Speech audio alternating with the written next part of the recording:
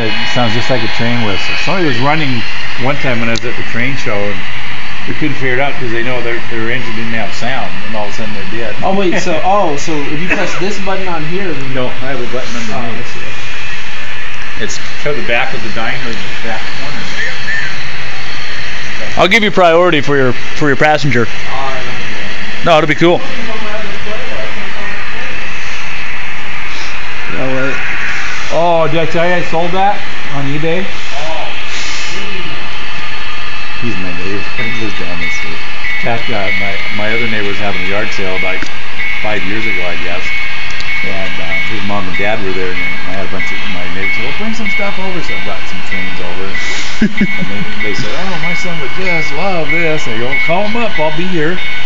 So then he came down and we got to talking, and he bought a whole bunch of stuff and told him about the train club out here and everything, and kind of like been friends ever since. So with my head injury, he I always have to ask him. He remembers stuff. You know, what do I have? Do I- Okay, you're in. Grab one of these? That's so cool. I'm gonna get a train to go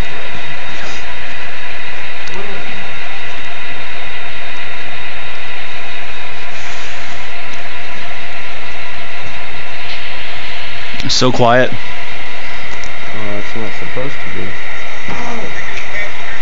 See, I got it on the, the station, the PFA announcements, Right. and uh, I can't do the horn or anything.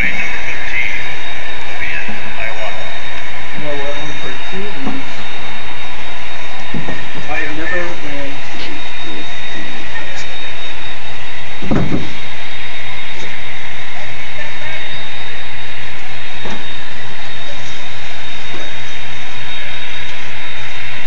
You know there's a way to access all 28 functions with Digitrax?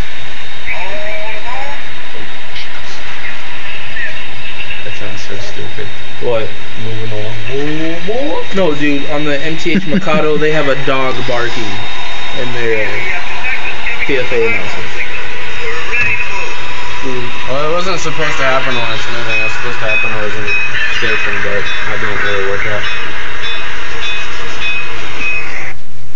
And the. What do you know? Great. And we'll go ahead and stop.